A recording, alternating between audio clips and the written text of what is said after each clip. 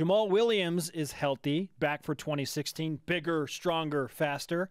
Olympic theme there. So, how high does he plan to maximize that growth on the field?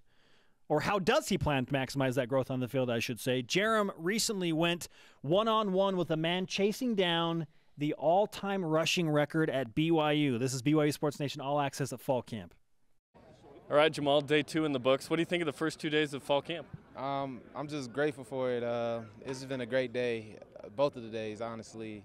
We going out there, we're playing hard. I mean, we got no pads on, so we're doing the best we can. We getting up on each other one on ones, but I'm extremely happy with our offense is doing from the first day, and we made improvements today too. So every day we're getting better. The defense is getting better, and we're just making each other better. Let's talk about your look here. You've got the iron sharpens iron uh, shirt on, the hoodie. You trying to make weight or something? No, it's just you know, it's just a nice hoodie. I actually like this. I might wear this in the game too, because it keeps the sun off you when you don't have your helmet on, you know, and it's sleeveless. And I like sleeveless, so I actually might cut it so I can have it like a belly one. But you know, I might keep it just how it is right now. This might be my mature look for now. It's been a while since we've seen you out here. Uh, what, what was it like the first couple of practice practices to rejoin the team on the field? Uh, it was great, you know, being out here with my friends again, my teammates and my brothers. Uh, you know, they welcome me with open arms all the time, and I'm just grateful for them, you know, to come out here and, and have another season with them. And uh, I told them right at the back, I'm just grateful to be here with them, and I'm giving them 100% everything I got, and I know they'll do the same for me. How do you feel? I feel good. I'm ready to go, ready for some pads now. I'm tired of just helmets. You know, helmets helmets practice is more for defense. You know, make them feel good. But once we put the pads on, they low key gonna be sad. But you know, they my teammates. They gonna come with some fire too. So it's gonna be great when we put the pads on. Emotionally, I imagine you know last year you were expecting that to be your senior. Now you're now you're back here, new coaching staff, new regime, new everything. What's that like for you emotionally? Honestly, it's just a blessing from God. You know. Uh, all this is just great thing after great thing coming. And I went through my struggles and and I prayed to God and everything. And for Him to do this for me and to show me all the blessings now, I see that He's doing great things for me to have this much of uh, a positive influence on my life, to have all these positive people, all the positive things happening now for this season.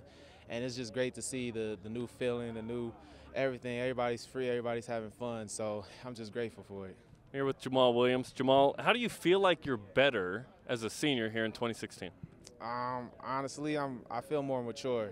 Uh, I feel more content with myself. I feel I'm still the same. I still have my happy times and everything, but at the same time, I'm still serious and I'm more mature. Uh, really, that's that's really it. You know, coming 21, people might not think that's old. I've been here since I was 16, turning 17. So turning 21 to me and, and going through everything I've gone through is it's just great for me to, to go through the experiences and learn from them and, and be the person I am now. The jer- jersey finally matches the age. Yeah, you could wait to say that. Uh, nah, I, you know what? Yeah, I'm gonna be 21 forever, but in age, I'm gonna be 21 forever. There's, there's, a story I believe along those lines as well. Uh, give us an idea of uh, what the offense is like for the through the first couple of practices. Uh, the offense mostly is just getting back to it, uh, learning what we learned in spring, and everybody's getting into it. They really learning the stuff and the mistakes we make in the first practice, everybody cleaned them up in the second. And you know, there's always mistakes we making, but we're always learning from them. People are, are learning from their mistakes and and and getting more experience out there and I can see it. Everybody's going out there doing the hardest they can, and they know that this could be a special season. Who else catches your eye among the running backs with you? Um, mostly everybody, really. They they're really coming out with their own special thing. Uh, Squally's coming out. He's almost just like me. You know, he got the same personality and everything, but he's a little more feisty. He he fights with a lot of people. He's feistier than you. Yeah, I'm feisty when it's time to be feisty. I'm not that feisty all the time. If I don't need to be feisty, I'm not gonna pull it out. But Squally will pull out the feisty on anybody, you know.